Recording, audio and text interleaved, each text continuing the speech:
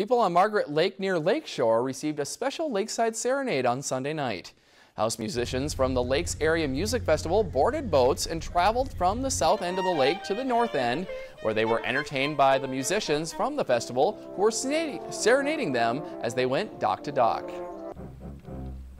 This is a great night for us because we have musicians planted on docks everywhere around this lake. So we sort of do a cruise around the lake where each dock has a different set of musicians. Like one will be double basses, one is horns, one is violins, cellos, anything you can think of.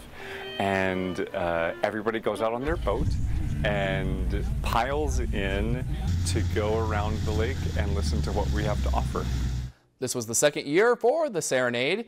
The night culminated with a finale and party for both musicians and neighbors at a house on the lake. If you enjoyed this segment of Lakeland News, please consider making a tax-deductible contribution to Lakeland PBS.